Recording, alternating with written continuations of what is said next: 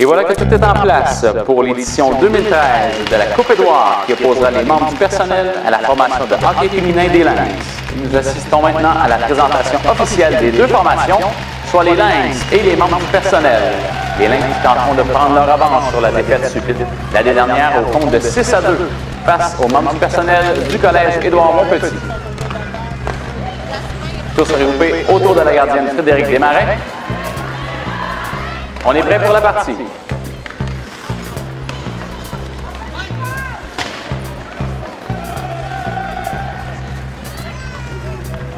Alors on envoie dans la mêlée numéro 4, Gabriel Savoie. Et c'est le début des hostilités pour cette partie qui prend énormément.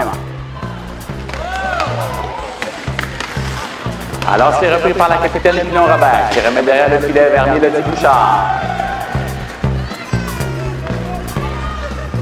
On assiste à une belle prestation de nos Lynx, si bien qu'ils ont les devants 2 à 0.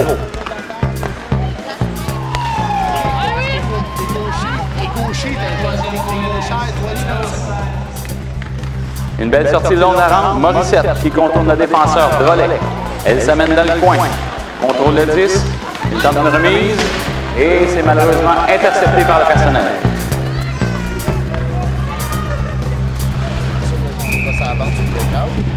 Fais ça dans le centre, là, t'es même pas resté avec ton joueur, là, pas que t'es allé en avant. T'es t'es déjà rendu en avant, fois qu'il est allé au là. Reste avec ton joueur.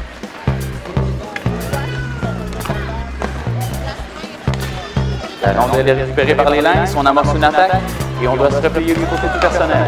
Des changements sont apportés au banc des Lynx, alors qu'on a amené dans la mêlée la gardienne Frédéric Desmarais. Alors les Lynx qui ont les devants 3 à 2 après une période de jeu.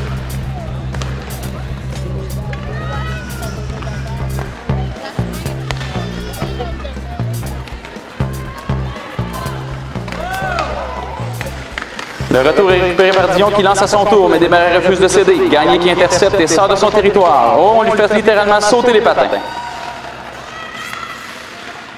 Puisque l'égalité persiste, nous devons procéder à des tirs de barrage afin de déterminer le vainqueur de cette partie. Christian Couloum sera devant le filet pour le personnel. Bégin qui s'amène et qui rate la cible du revers.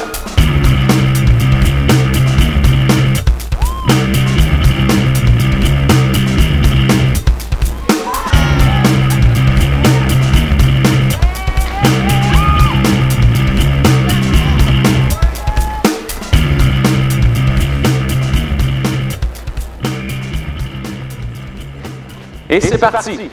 Elle franchit la ligne bleue. Elle y va de lancer. Et compte! Victoire des Lynx en tir de barrage grâce à un lancer des plus précis dans la partie supérieure. Le gardien Coulomb n'y a vu que du feu. Wow, quelle fin de match!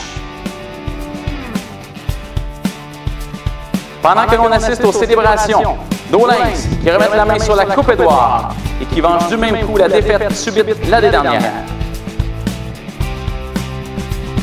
Et c'est maintenant le temps de la photo de famille. On peut apercevoir entre autres les deux entraîneurs honoraires, M. Serge Brasset et Mme José Mercier, en vous rappelant cette victoire des Lynx au compte de 5 à 4 en tir de barrage. Et voici des joueuses finissantes qui posent fièrement avec la Coupe Édouard. Félicitations. Et à l'année prochaine.